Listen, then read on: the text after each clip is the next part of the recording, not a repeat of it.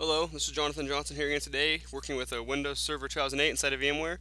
Today we're going to be doing Activity 5-10, creating a namespace root. Our objective is to configure a namespace root. The description for this activity is, creating a namespace root is an important configuration step for DFS. In this activity, you, you create a new namespace root. Don't worry whether a namespace root already exists because you use the same steps to install the first namespace root and additional ones. The file service roles with DFS should already be installed. Also, have in mind a name, a name for the namespace such as data plus your initials. So first off, we're going to log on to our server, which we've already done.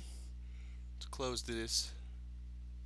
We don't need that right now. Alright, so we're going to click Start. Point to Administrative Tools.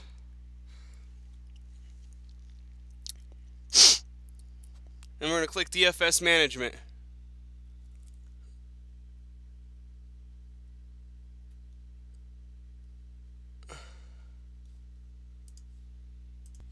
Alright, we're back.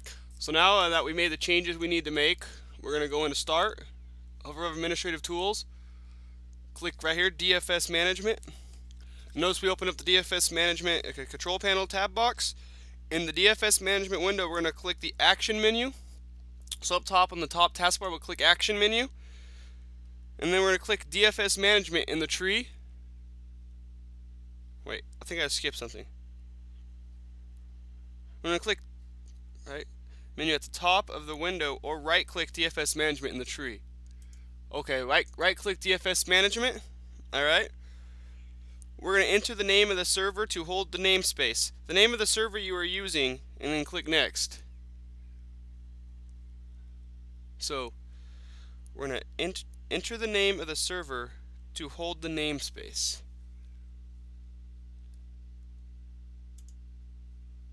Okay, so the name server will be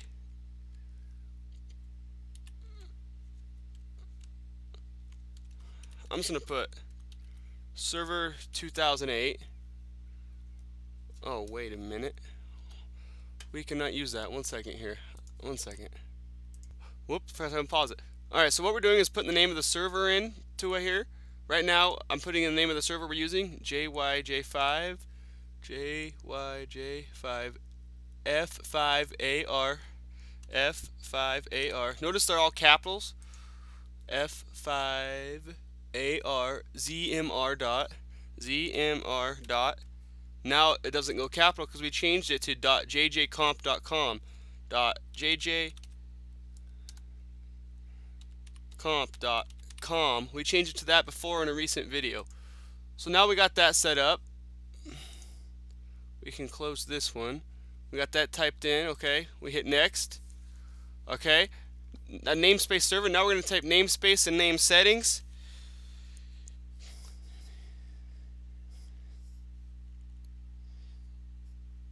Alright, now we're going to enter the namespace and we click next. Now we did. We're going to leave domain-based namespace as the default selection and click next.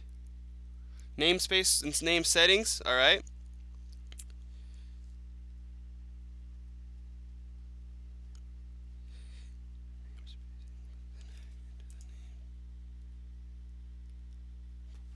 So this is going to be a public one. So put that to public. Actually, wait. Let's just leave that in. Well, we have to put it something, I guess. So let's put it pu as public. Public. Next. We leave this stuff here. Next. Okay. Now we're going to click create. So now notice right here it clicks create namespace. Alright. In progress.